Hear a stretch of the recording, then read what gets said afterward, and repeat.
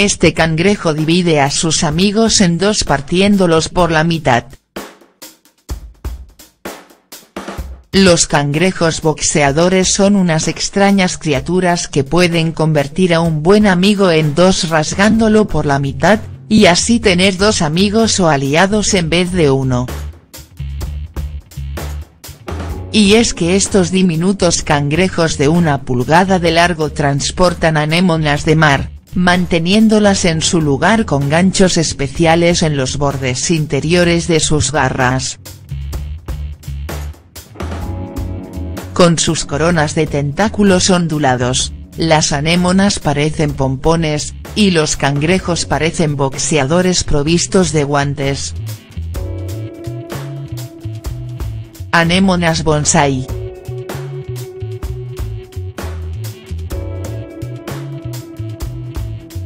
Estos cangrejos usan las anémonas para diversas cosas, y las llevan consigo a todas partes. pero, para que no se descantillen, las mantienen pequeñas y débiles, como si fueran un bonsai que debe ser continuamente podado. Así pues, si liberamos la anémona de un cangrejo, esta tendrá pronto colores más brillantes, y sus tentáculos se harán más largos, incluso hasta doblar su tamaño. Los cangrejos, entonces, lo que hacen es mantener a las anémonas en un tamaño manejable. Además, como se ha dicho, si el cangrejo atrapa a una anémona, la dividirá en dos para tener dos, una en cada garra. Para conseguirlo, el proceso es el siguiente, agarra la anémona en ambas garras, se desplaza hacia afuera, y utiliza sus piernas para cortar a través de la mitad. Y puesto que las anémonas pueden regenerar sus cuerpos, cada mitad eventual se convierte en un animal completo en su propio derecho. Es decir, que al dividir a la anémona en dos, el cangrejo también la clona. Esto explica por qué los cangrejos boxeadores salvajes, incluso los más jóvenes, casi siempre tienen dos anémonas.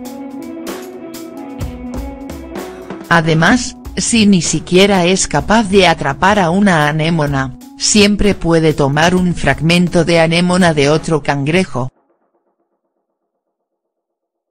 A veces, todos roban de todos un pedazo. Y finalmente todo el grupo de cangrejos tiene clones y más clones de la anémona original. Randy Brooks de la Universidad Atlántica de la Florida, que ha estudiado las relaciones entre las anémonas de mar y otros animales, dice que algunas especies solo se encuentran en las conchas de cangrejos ermitaños. Esas anémonas son capaces de reproducirse dividiéndose por la mitad, por lo que tal vez los boxeadores solo están acelerando un proceso que sus compañeros de anémona naturalmente sufren.